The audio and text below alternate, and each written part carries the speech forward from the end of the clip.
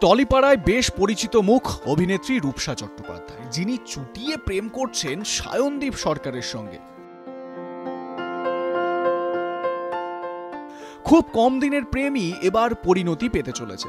Social পেজে প্রেমিক সায়নদীপের সঙ্গে ছবি পোস্ট করে রূপসা জানিয়ে দিলেন, তিনি কবে বিয়ের পিড়িতে বসছেন। বাংলা টেলিভিশন এবং ওটিটি প্ল্যাটফর্মের জনপ্রিয় অভিনেত্রী রূপসা চট্টোপাধ্যায়।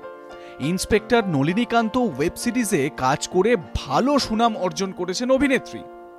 এবার দু হাজার তেইশ সালেই বিয়ের পিড়িতে বসবেন তিনি।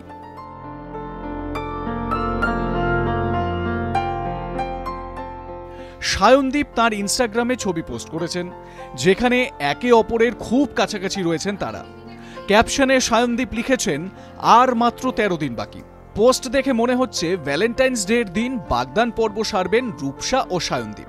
ইন্ডাস্ট্রির কোনো মানুষের সঙ্গে আর যে অভিনেত্রী প্রেম করবেন না, সেটা আগেই জানিয়ে দিয়েছিলেন রূপসা। সায়নদীপের সঙ্গে রূপসার পরিচয় বেশি দিনের নয়। এক বন্ধুর বাড়িতে আলাপ হয় সায়নদীপের। রূপসার কথায় কি করে যে সব হয়ে গেল, তিনি নিজেও বুঝতে পারেননি।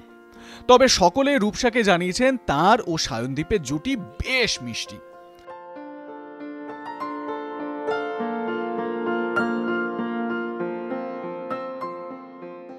রূপসা আগের এক সাক্ষাৎকারে জানিয়েছিলেন যে তিনি সায়নদ্বীপের সঙ্গে নিজের ভবিষ্যৎ দেখেছেন।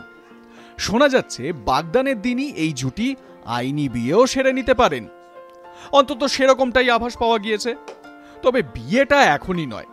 বরং বছরের শেষে সায়নদীপের সঙ্গে রাজকীয় বিয়ে করবেন রূপসা। বাংলায় একাধিক কাজ করেছেন রূপসা।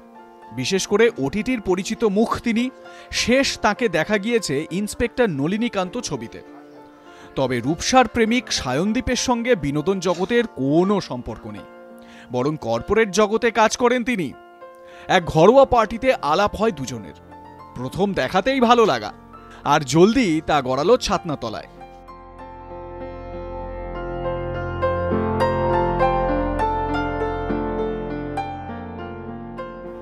সোশ্যাল মিডিয়ায় একাধিক ছবি পোস্ট করেন রূপসা সায়নদীপ।